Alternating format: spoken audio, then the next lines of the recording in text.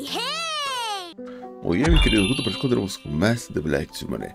En el combate anterior pudimos ver cómo Sera y Val tuvieron una intensa batalla, sin embargo Val terminó retirándose del torneo. El motivo por el cual lo hizo lo desconocemos, pero algo sí sabemos. Esta chica tiene algún tipo de relación con Sera, ya que el parecido físico entre ambas es realmente increíble. Pero, ¿qué es lo que está sucediendo aquí? Es algo que iremos descubriendo a medida que avancemos en esta interesante historia. Para ello les recuerdo, como siempre, que con la playlist pueden seguir la secuencia del contenido de forma fácil y sencilla. Dicho todo esto, comencemos.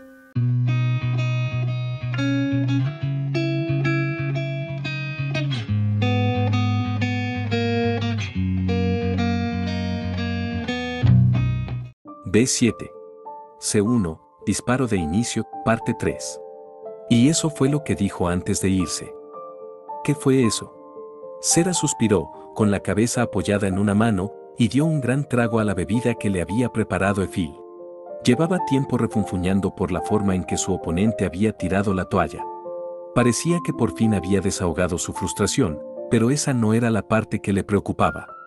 El mayor problema era el hecho de que Val conociera el apellido de Sera. Y ya que estamos hablando de este tema, también puedo decir esto, puedo apostar que su nombre no es Val, sino Baal.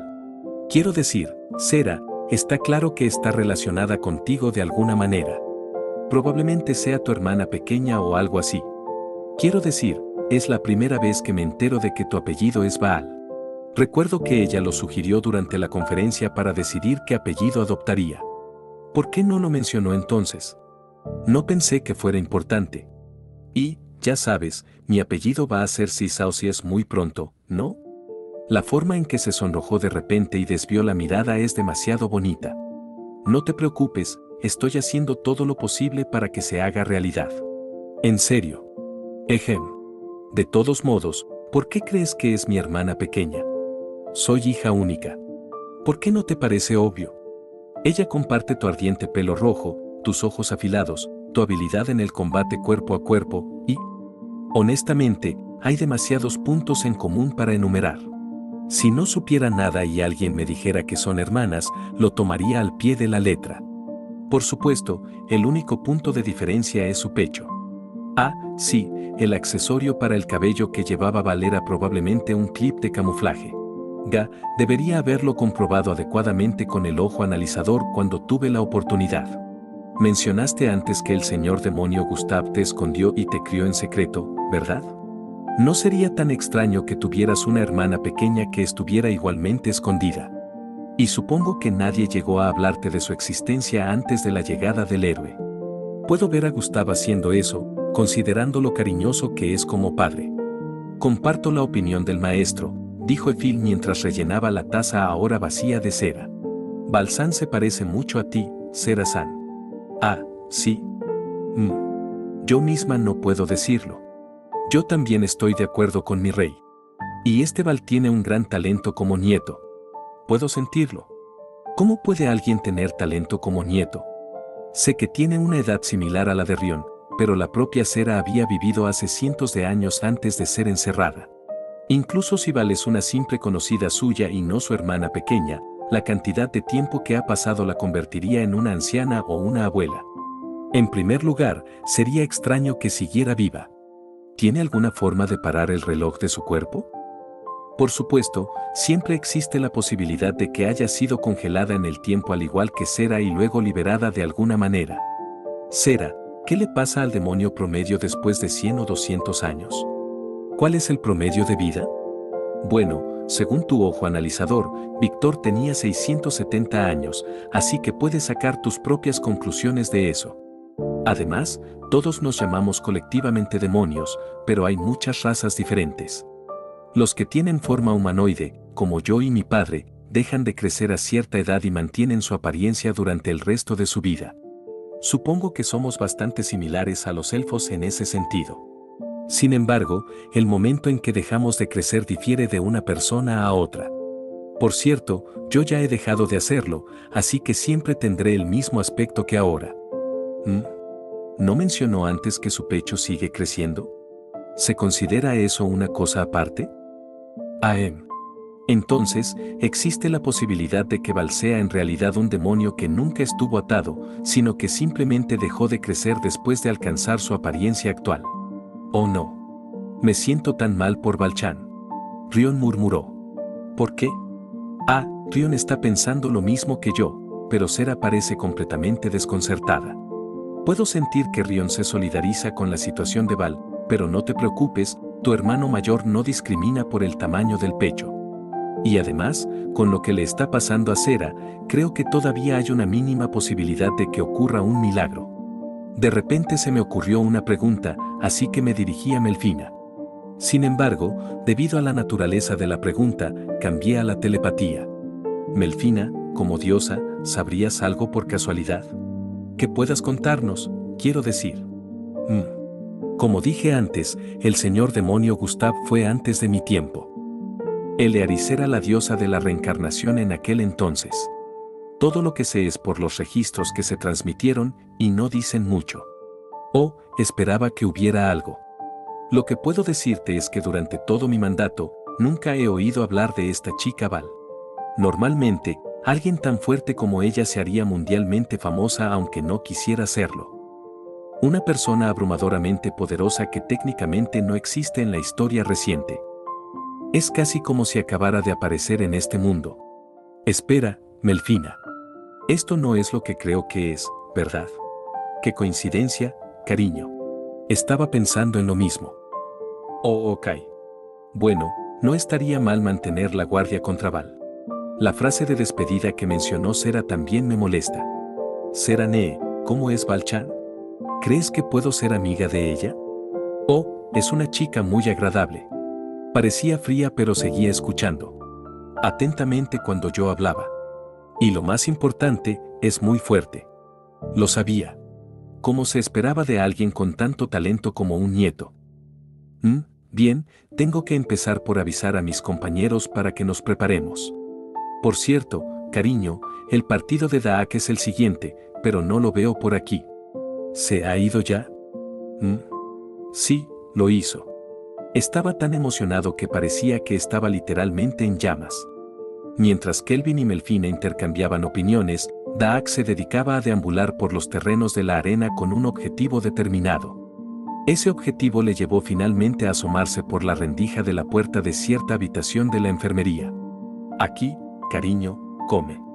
O no, hermana querida, las manzanas que pela son simplemente demasiado deliciosas. Me harán engordar. Oh, seguro que sabes qué decir para hacerme feliz. Puede que no sea tan hábil con el cuchillo como Efil-chan, pero sigo siendo bastante buena, ¿no? Ser capaz de sacar lo mejor de un ingrediente es señal de una buena mujer.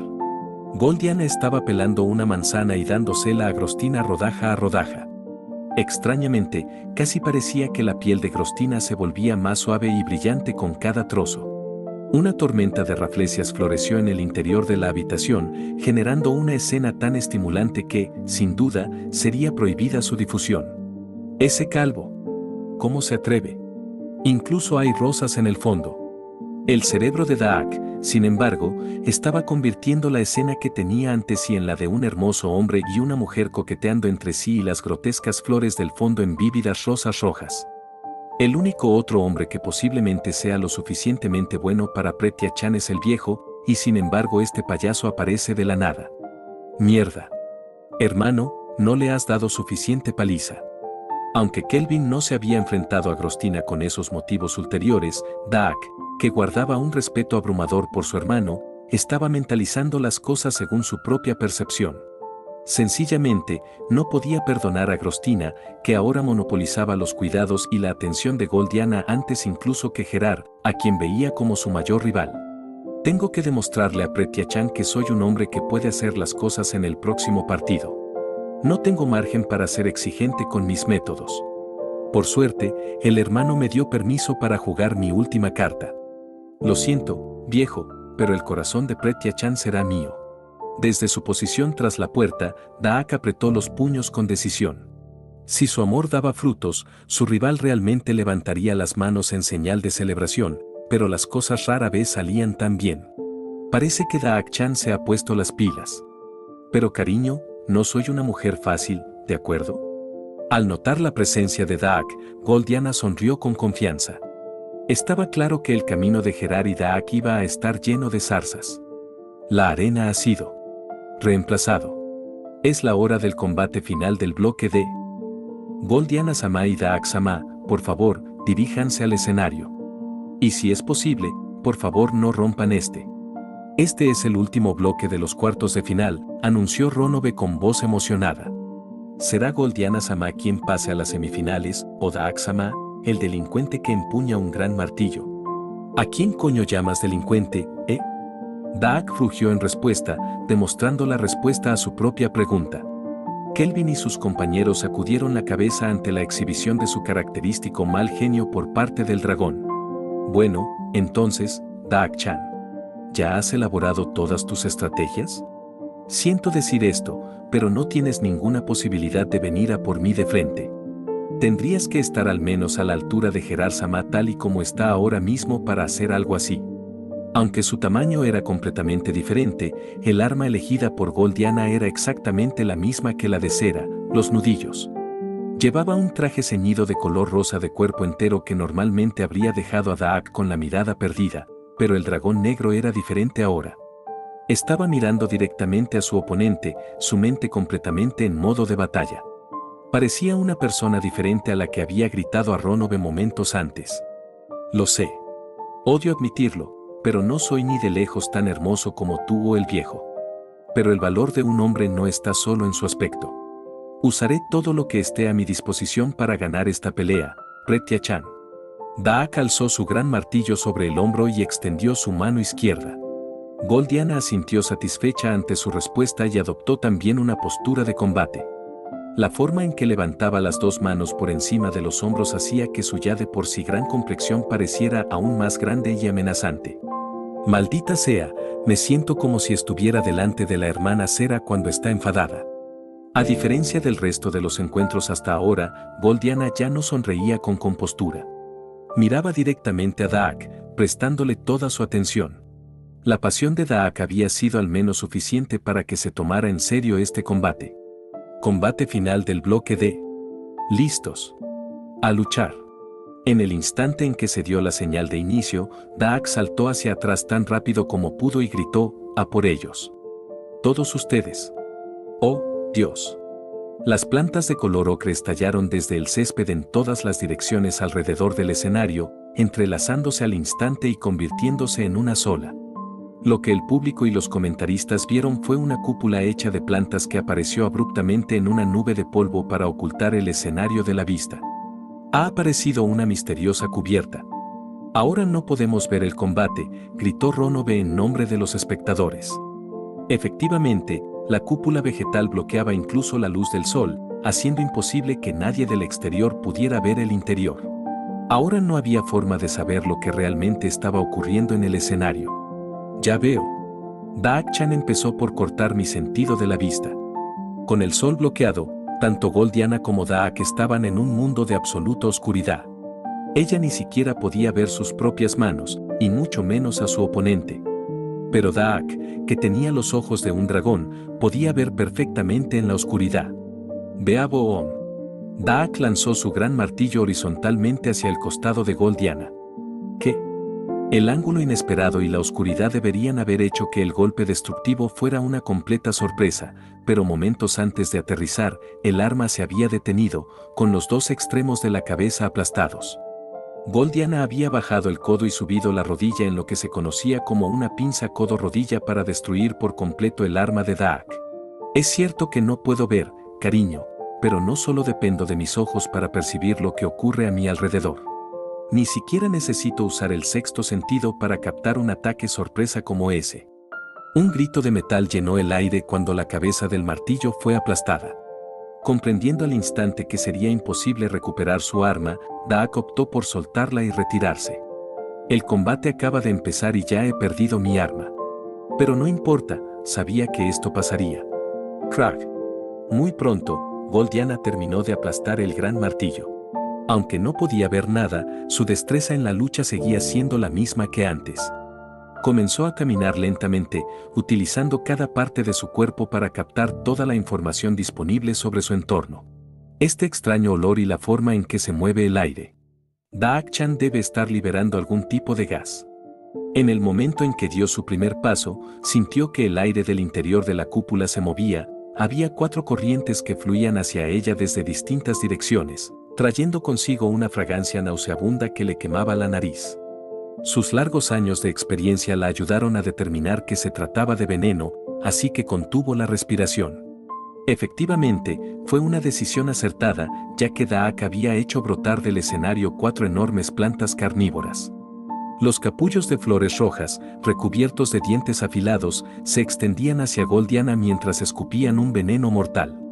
El propio Daak era inmune a las toxinas, ya que en su propio cuerpo crecían plantas que liberaban un agente neutralizador. Me jode depender de lo mismo que ese calvo, pero he decidido hacer todo lo posible. Parece que Pretia Chan ha empezado a contener la respiración, pero dudo que pueda mantenerla durante mucho tiempo. Goldiana cerró los ojos y se concentró en percibir su entorno. Cielos, ¿cuánto tiempo ha pasado desde que entrené cómo luchar sin respirar? Esto sí que me hace recordar. ¿Mm? Teniendo en cuenta el tiempo que ha pasado desde la última vez que hice esto, creo que solo podré aguantar unos 30 minutos. Bueno, vamos. Estoy esperando. El brote de una de las plantas se giró bruscamente y se precipitó hacia ella, y las otras le siguieron en rápida sucesión. Pero justo antes de que el primero hiciera contacto, sonó un fuerte chasquido cuando Goldiana movió un dedo. En la oscuridad se oyeron ruidos de aplastamiento, no un sonido metálico como el del martillo aplastado, sino un sonido crudo que recordaba a algo vivo. Los ojos de Daak contemplaron cómo las plantas de rango generadas por su habilidad única, gemación, se hacían pedazos. Justo antes de que una de ellas llegara a Goldiana, la agarró por la boca abierta, la sujetó, la aplastó y luego continuó lloviendo golpes sobre ella hasta reducirla a pedazos. No se mueve por intuición como la hermana Cera. No, sus acciones son seguras y precisas. ¿Realmente tiene visión nocturna? En medio de todo, Goldiana seguía avanzando hacia la posición de Daak. Quería una batalla prolongada, así que siguió retrocediendo y levantando plantas carnívoras del suelo. Desgraciadamente, al hacerlo se abrió una brecha. Uf. Fue un error suponer que Goldiana no poseía ningún ataque a distancia. En medio de la lucha contra las plantas, disparó un trozo de aire desde la punta de su dedo, un movimiento que llamó estilete de abeja, que abrió un agujero en el abdomen del dragón. A diferencia de cuando había luchado contra Goma, esta vez Goldiana no se contuvo. El ataque se centró en un solo punto en lugar de extenderse por una gran zona, adoptando su verdadera forma de ataque extremadamente rápido diseñado para penetrar. Es más tenaz de lo que esperaba. Sin perder un instante, Daa quiso crecer una planta reconstituyente con propiedades elásticas y la envolvió alrededor de su torso para detener la hemorragia. Mientras hacía esto, seguía con el asalto, lo que indicaba que estaba forzando su capacidad mental. Sin embargo, no tenía tiempo para compadecerse de sí mismo. A cada momento que pasaba, Goldiana se acercaba más. El dragón negro apretó los dientes ante el dolor de su estómago mientras guiaba a su oponente hacia la siguiente trampa que había preparado. ¡Ay, mis pies! Al igual que había hecho mientras luchaba contra Akras, Daak había plantado lianas en el suelo para sujetar los pies de Goldiana. Por supuesto, por muy resistentes que fueran las lianas, no podrían detenerla ni siquiera un instante. Sin embargo, eso le parecía bien. Lo único que necesitaba era desviar su atención durante una fracción de segundo. Flash. Una luz verde jade estalló en la oscuridad de la cúpula cuando Daak desató un ataque de aliento. Un chorro abrasador salió disparado de su boca y cayó directamente sobre Goldiana, derritiendo el escenario a lo largo de su recorrido. Incluso las plantas carnívoras se retiraron para evitar convertirse en daños colaterales. Oh, me gusta esto. Un ataque directo sin pensar en la defensa. Esto sí que me toca la fibra sensible. El cerebro de Goldiana registró el dolor de sus manos quemadas mientras sus nudillos se desprendían, reducidos a inútiles trozos de metal fundido cuando los había usado para bloquear el ataque entrante. Era la primera vez que resultaba herida en el torneo gauniano. El aliento de dragón, que había durado más de 10 segundos, había dejado definitivamente su marca. Cuando se apagó, la oscuridad volvió inmediatamente al interior de la cúpula y las plantas carnívoras reanudaron su ataque. Ya era hora, diría yo. Daak-chan está siendo muy obvio al alargar esto, así que tengo que salir de esta situación. Un aura rosa se reunió alrededor de la mano derecha de Goldiana. ¿Qué? Daak tembló de repente con un pico de puro terror. El interior de la cúpula estaba ahora pintada de rosa por la luz que emanaba del puño de Goldiana. Las plantas seguían atacando sin miramientos, pero un solo golpe de su oponente fue todo lo que necesitó para aniquilarlas. De repente, se volvió aún más hermosa. Daak había escuchado el relato de Kelvin sobre Grostina, la discípula menor de Goldiana, que mostraba poderes especiales mediante una habilidad basada en el aura. En el caso de Grostina, el aura aumentaba la capacidad defensiva de las partes que envolvía, otorgaba adhesividad y era capaz de almacenar y expresar veneno. Todas las pistas apuntaban a que esta aura era una técnica de Goldiana, el arte marcial que practicaba la pareja. Sin duda, Goldiana también sabía utilizarla, de hecho, Kelvin incluso la había visto usarla en persona, así que Daak se lo esperaba. Sin embargo, resultó ser mucho más poderoso de lo que había pensado. Y ahora, la pierna izquierda de Goldiana se iluminaba con un cúmulo de energía que brillaba de color rosa claro. Ya viene. Su mente se llenó de su propia voz. ¿Debería tomar represalias con más plantas carnívoras? ¿Debería? No, podría, seguir corriendo hasta que Goldiana quedara fuera de combate. ¿Debería cargar directamente desde el frente? Un número casi abrumador de opciones pasó por su mente, pero las descartó todas de inmediato.